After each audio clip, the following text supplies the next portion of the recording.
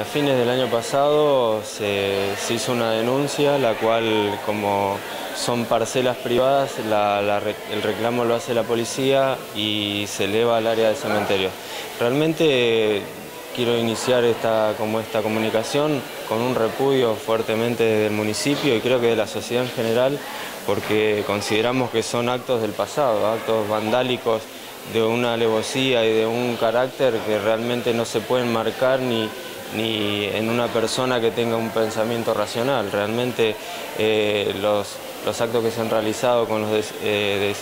destrozos de los féretros, el esparcimiento de cenizas, creo que para cualquier familia que tiene depositados los restos de sus seres queridos en estos lugares y vive esta situación es más que desagradable y realmente no, no hay otro, otro concepto que es un repudio desde todas las áreas y, realmente acompañar a,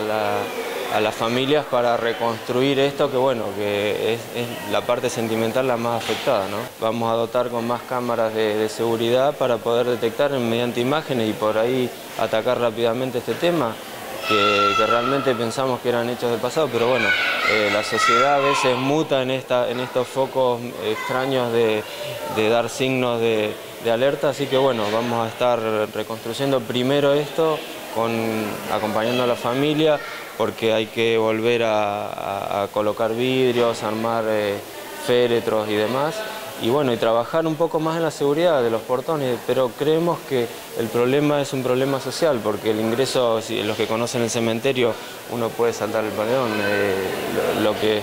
el acto, digamos, se puede volver a cometer. Vamos a estar atentos a esto con la dotación de cámaras y desde el centro de monitoreo, si vemos alguna actitud o algún accionar de este tipo, ir y aprender a la persona para que sea castigada por estas cosas que no, no avalamos de ningún punto de vista.